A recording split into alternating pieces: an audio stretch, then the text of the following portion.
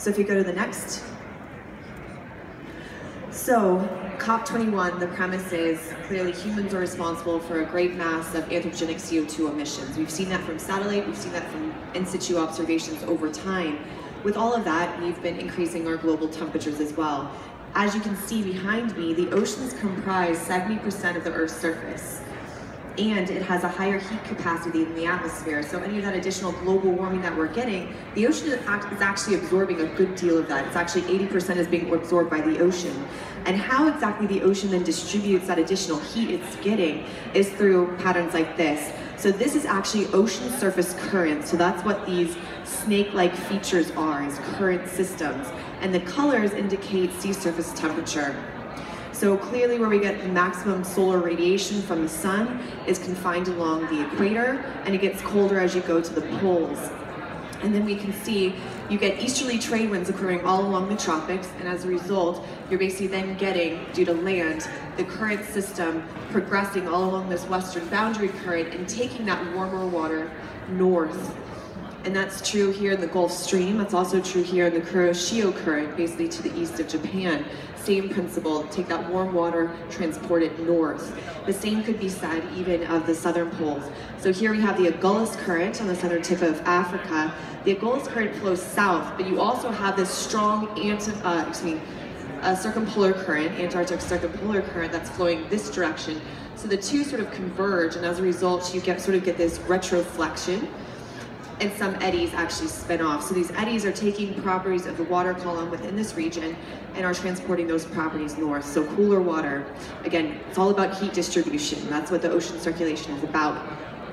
Here at the surface, it's mainly wind driven, but if we look at the subsurface circulation of the ocean, which is the next animation, this is the subsurface component of that. So this circulation, contrary to the surface, which is wind driven, this is driven or called the thermohaline circulation. So it's temperature and salinity driven or density. So when you saw that massive picture, this is in the, uh, the Atlantic Ocean, you basically saw that the current system came up. As it's coming up, it was warm water, it's becoming cooler, and it's becoming more salty because basically as you progress northward, there's more salt uh, rejection within the ocean. So it's becoming more salty and cold, and therefore becomes more dense and sinks in this something that we call the deep water formation region in the North Atlantic. There's also one of these formation regions in the Southern Ocean. And this is what is typically studied. So if, how many of you saw The Day After Tomorrow, the movie? No? Okay, so there is a movie that basically uh, is sort of a climate change uh, type movie publicized by the Hollywood media in which this sort of large scale circulation is shut down. So people then have a lot of questions. Well, why exactly would this shut down? Well, one thing would be if you have Greenland, and basically Greenland is a massive ice sheet, so there's ice on top of land. If all of that ice actually was dumped into the ocean, it can affect the circulation or speed of this large-scale circulation itself. But regardless, the whole point here is, again, to redistribute that heat from a subsurface and a surface uh, perspective. So if we go to the next animation. So how does that manifest in the Earth system? Clearly we know we're putting in a lot of heat and we can see that the Earth is actually trying to distribute that, but we can see the impact, impacts actually associated with that additional heat through products like this. So this is the 22-year um, record from sea surface height or sea level. You might have heard about that. These are from the altimeter series uh, through cooperations with uh, CNES, the French Space Agency, and NOAA and NASA. So you have Jason, uh, excuse me, J uh, Topex Poseidon, Jason 1, Jason 2, coming up in Jason 3, about to launch in 2016. But they basically tell you how sea level is changing with respect to time. So again, this is a 22-year record, and you can see significant differences between certain basins. So as you can see in the Gulf Stream area, there were certain increases in sea level and decreases, and that's mainly just showing the differences in the, the circulation, how fast or how slow the uh, Gulf Stream was going. And the equatorial Pacific is where you see the starkest contrast. So as you can see here in the western tropical Pacific, you had a significant increase in sea level, and the eastern Pacific had a significant decrease. Rationale there. So overall, a good way to think about this, if you have a lot of extra heat being dumped into the ocean, um, the ocean actually expands. It's something called thermal expansion. So if you think about a tire, either on your bike or in your car, if you're put in hot weather, the tire expands. If you cool it, it shrinks. Same principle within the ocean. So due to additional heat, the ocean is actually expanding. And the Western Tropical Pacific is one region in which we've seen a lot of this thermal expansion. But also, when we get to the Equatorial Pacific, here we go. So the Equatorial Pacific, you can think of it sort of like a uh, seesaw or, or something on the children's playground in which you have easterly trade winds that are basically driving or piling up all this water in the Western Tropical Pacific. So you, this is also showing a pileup of sea level and as a result you get a reduction in the Eastern Pacific side. So it's those two effects that are causing what you're seeing there in the Equatorial Pacific region. But overall, sea level provides us with a great indication of how our Earth system is changing with respect to climate. So if we go to the next, so that was more of a longer time scale, again, 22 year record. This is giving you an idea of the synoptic variability in association with climate change. So the background uh, is sea surface temperature. So again, warmer waters are happening at the tropics, colder at the poles. And this is overlaid with daily ocean vector winds. So you can see sort of this sort of large scale variability occurring, but you also should see some small scale sort of short-term events such as hurricanes. So if we look here actually in the Western Tropical Pacific, you can see these typhoons forming, and as they form, they're leaving or altering that sea surface temperature underneath. So hurricanes or typhoons need waters that are excessively warm, greater than 80 degrees Fahrenheit or 26.5 degrees Celsius.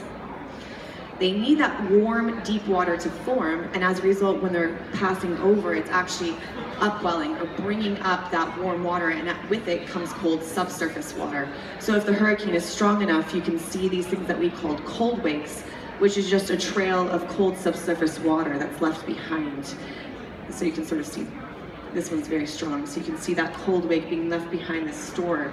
If another hurricane actually formed and passed over this one's cold wake, it would de-intensify or vice versa. If you have an extremely warm deep, it could in fact intensify. So any variations with respect to temperature distribution on the global scale. So if this warmer region actually was to expand, we could in fact expect that maybe these hurricanes would be able to move more northward. I know that that's possibly a, a, fact that we might be having here in Southern California. Typically, and this is where I'm from here in, in California, typically our hurricanes don't propagate as far north because you have very cold water, which basically kills the storms. But if this what heat area was supposed to expand with ocean warming, we might in fact actually get some landfalling hurricanes in our future. So that's more of a short-term event um, and short-term impact with respect to climate change. If we go to the next slide, it shows you more of an interannual, so on this time scale of two to seven years. So what this is showing is sea surface temperature anomaly, as you can see in the, the caption. So what that means is how far above normal or below normal temperature is with respect to some mean. Here the mean is in fact um, different temperatures from 1981 to 2010. So it's telling you how warm that water is. So this specific one was created to illustrate the current, excuse me, the existing ocean condition from a temperature perspective to the developing El Nino. So this is, how many of you are aware that there is an El Nino that's currently developing or has developed? Okay, so this in fact shows that progression. So prior to the El Nino, we had something that we refer to in the Gulf of Alaska as the blob. It was this very confined, warm uh, anomaly that was occurring within there. As this progression or time series elapses, you can basically see that blob then hug the coast, and then you get all this significant warming all the way from the Gulf of Alaska down to Baja. And then comes an El Nino that's sort of extrapolating or compounding that effect as well. So some people have been asking, how does this El Nino relate to the massive one we saw in the satellite record of 1997-98?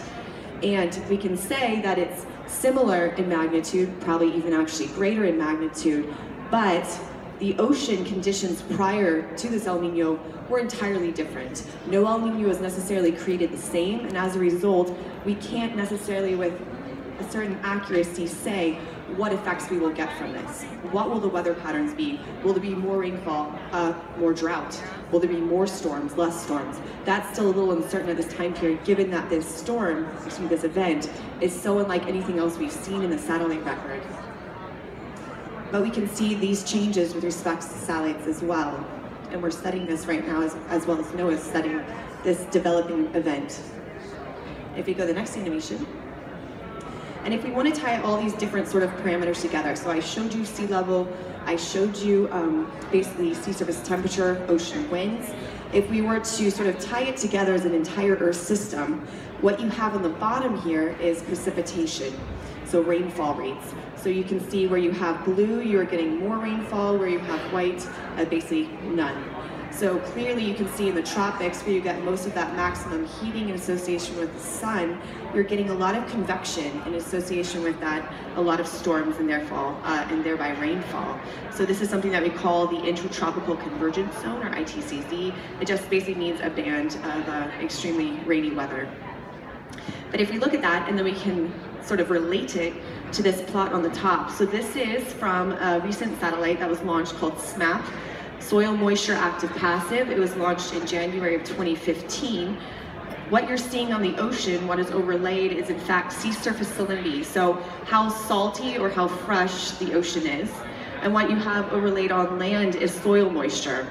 So if we look at these regions of where we get extreme rainfall, with respect to sea surface salinity, we can see that the more rain that is dumped on the ocean, the more fresh the salinity is and vice versa. If you have regions where you don't get a lot of rainfall, such as these gyres in the North Atlantic and South Atlantic, you're getting a lot more evaporation. So you're getting saltier waters left behind, causing these maximum zones that you see here.